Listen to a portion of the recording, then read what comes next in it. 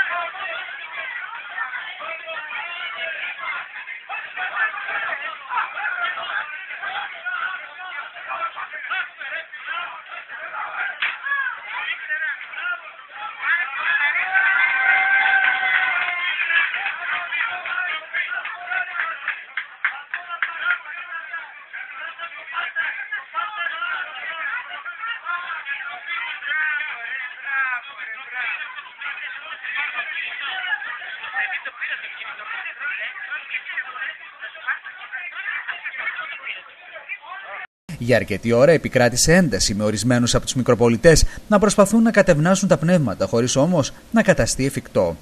Σύμφωνα με τις παραπάνω πληροφορίες, μάλιστα πραγματοποιήθηκε και προσαγωγή ενός εκ των μικροπολιτών. Στο σημείο της λαϊκής, ωστόσο, έσπευσε ο Δήμαρχος Συνδικής αλλά και ο πρόεδρος των μικροπολιτών του νομού, Άγγελος Καλαϊτζής.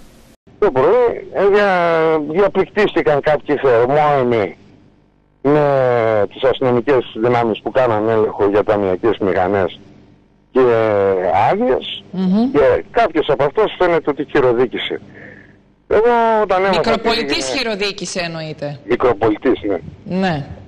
Ε, όταν έμαθα ότι έχει οξυνθεί η κατάσταση, πήρα το όχημα. Έτσι τελείως είχαμε και άλλη δουλειά εδώ στο λιμανάκι της Κερκίνης να κάνουμε και πέρασα εκεί πέρα εδώ τι γίνεται. Στη διαδρομή είδα το περιπολικό και επικοινώνησα τηλεφωνικώ με τον διοικητή του αστυνομικού τμήματος να με ενημερώσει τι γίνεται. Mm-hmm. Ο οποίος μου είπε ότι πηγαίνανε έρχονται στις αίρες των εισαγγελέα στην αστυνομική διεύθυνσης.